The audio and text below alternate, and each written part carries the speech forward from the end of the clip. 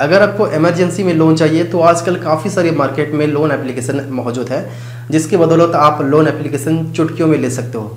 But यहाँ पर ध्यान देने वाली बात यह है कि अगर आप ऐसे तैसे एप्लीकेशन में, यानी कि वेरीफाइड नहीं हुआ एप्लीकेशन में जाके वेरीफाइड अगर जिस कंपनी में नहीं हुआ है, वो कंपनी में आप पैर मारोगे और आप उस कंपनी से लोन लोगे तो आपको सबसे पहले ध्यान देना होगा आपका इंटरेस्ट रेट कितना है या फिर जो आप ईएमआई डालोगे, आपको पता नहीं होता। आपको बोलेंगे कि आपको हर महीने इतना डालना है और आपको पता नहीं होगा आप डबल दे दोगे या फिर ज़्यादा भी दे दोगे।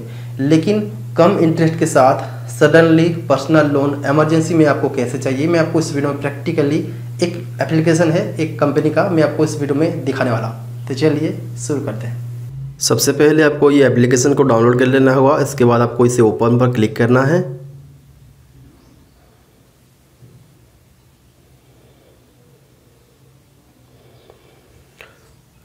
आपके सामने इस तरीके का इंटरफेस आएगा। आप यहाँ पर बस स्क्रॉल कर दीजिए, इसके बाद कंटिन्यू यहाँ पर कंटिन्यू इंग्लिश पर क्लिक करेंगे।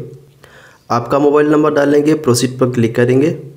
इसके बाद यहाँ पर अलाउ पर क्लिक करेंगे। कौन सा सिम में करना चाहते हैं, यहाँ पर आप सेलेक्ट करेंगे ऐसे। इसके बाद कंटिन्यू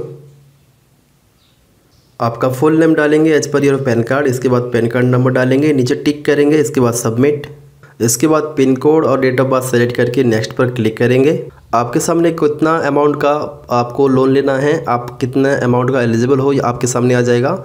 यहाँ पर आपके एक ऑप्शन मिलेगा गेट इन टू क्लिक आप यहाँ पर क्लिक करेंगे। इसके बाद आपके सामने कंप्लीट ई के का बटन आएगा, बस यहाँ पर क्लिक कर देना है। और अभी देखते हैं कि कौन सा स्टेप आता है। अपना आधार कार्ड को वेरीफाई करने के लिए नीचे आएँगे कंप्लीट योर आधार के पर क्लिक करेंगे।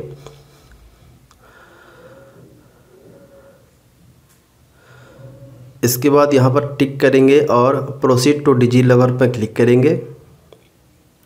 आधार कार्ड नंबर डालेंगे कैप्चा डालेंगे, इसके बाद नेक्स्ट पर क्लिक करके आपके आधार कार्ड के जो मोबाइल नंबर रजिस्टर्ड होगा, उसमें ओटीपी आएगा ओटीपी को वेरीफाई कर लेना है। ओटीपी वेरीफाई करने के बाद नेक्स्ट स्टेप में यहाँ पर आपको सिक्स डिजिट का अपना डिजिटल लॉकर का पासवर्ड डालना होगा, यानी कि पिन नंबर डालना है। आप भूल गए हैं तो यहाँ पर फॉरवर्ड पर क्लिक करके उसे सेट भी कर सकते हैं। हमको पता है यहाँ पर डाल के हम कंटिन्यू पर क्लिक करते हैं। इसके बाद अलाउ पर क्लिक करेंगे। देखिए सक्सेस आ चुका है। यहाँ पर हम देखेंगे बैंक अकाउंट नंबर डालेंगे। इसके बाद आईएफएससी कोड डालेंगे और कंटिन्यू पर क्लिक करेंगे। जैसे आप कंफर्म करेंगे तो आपके सामने यहाँ पर देखेंगे you are doing great software आपके सामने फिर से आ जाएगा। आपके अकाउंट में एक रुपये डिपॉजिट हो जाएगा।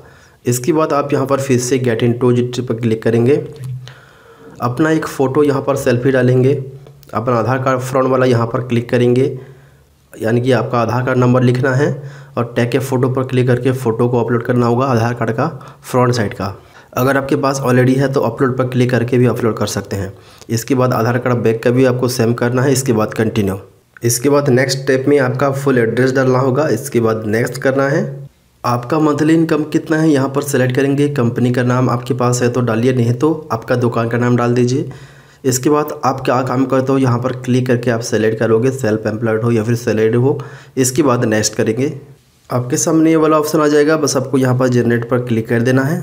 इसके बाद बस एक ही स्टेप बाकी है, बस आपको यहाँ पर टर्म्स को एक्सेप्ट करना है प्रोसीड करना है तो आपका पैसा कुछ ही घंटों में आपके अकाउंट में डिपॉजिट हो जाएगा। सो इस तरीके से अगर आपको पर्सनल लोन मोबाइल से लेना है तो आप ये प्रोसेस से ले सकते हैं।